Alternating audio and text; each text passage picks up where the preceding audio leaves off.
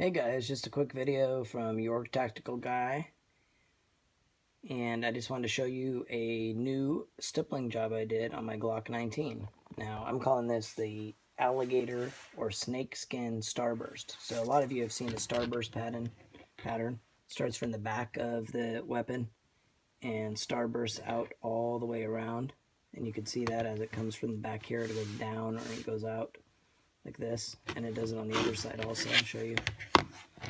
And looks really cool. So you start back here and you work your way all the way around until you get to the trigger. So you start down here and then you go up. And what I did is I started with like about 10 lines going out and then I filled those in and then I came back and and just keep filling in and filling in and filling in until it's all done. And I go backwards from the outside all the way in. That way the the point on this stays pure, so you're not dabbing it with something else. You can see the point on there. So yeah, you just psh, psh, psh, like that all the way in and keep going. This one takes quite a long time, but it looks amazing when it's done. So I did all the way around, finger grips everywhere. I actually did a double cut um, on the uh, guard, just like they do for the salient arms. This is a double undercut, so I undercut the trigger, as you can see there and then I'd undercut uh, the trigger guard. And so you can get a really high purchase under there. And this is a Glock 19 so now I can get way up inside there. I also because it's a gen 3 cut out a little relief near the triggers or the uh, magazine release. So when I get my finger there there's a little area to push in right here. And if I can get it so you can see it better there. Let's see if I can adjust my camera angle sorry yeah, right in there, you can see there's a little divot almost, so you kind of grind that out. And it allows me with my finger to push in there better rather than have it be flat. And then I did a little uh, uh, stippling up here on the thumb rest. That way, when I hold onto it with my other hand, oops, I can get my finger on there uh, to kind of hold some pressure down on it. And it works out really good, kind of pushing down on the barrel as you're pushing out and then have that finger pushing down a little bit, control the recoil. So anyway, that's how I did it. It was really cool. I may do more videos um, showing how I actually did this. The good thing to do is to practice. So I always took uh, little pieces of Kydex, anything I could find around here.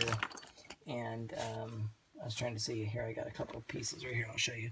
Um, and I just practiced. So this is me practicing one pattern of uh, what I call a um, uh, dragon scale. So it's kind of a, like the fish and the uh, lizard scale, but with a little dot on each thing. And then here I did a starburst pattern with just the straight edge, which looks really cool too.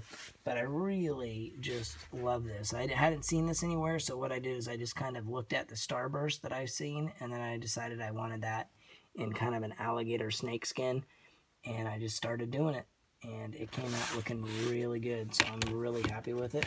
And actually this one is going to look very similar to a Salient because I got the double undercut the custom stipple job. I have uh, brazen arms. Their uh, brazen arms is really good. They charge only $50 to coat a um, Cerakote uh, slide and $50 to tie with the gold coating um, on my barrel. So that is really cheap $100 to get that done. So I took just a standard uh, Glock 19, which was like 550. Spent $100, 650, and basically I'm getting close to um, a salient. Now, granted, I don't have a match uh, grade barrel, but I did do my own trigger job. I put in the three and a half pound release. I put in the stainless steel uh, pins and the titanium uh, takedown pin, and so um, added the extended uh, uh, slide release.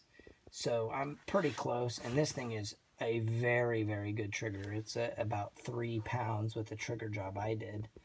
Um, polishing the correct spots on your uh, trigger parts can really get your trigger down. Uh, never uh, do the sear, but you can polish almost everything else. So anyway, that's David Scott Golfer at Your Tactical Guy.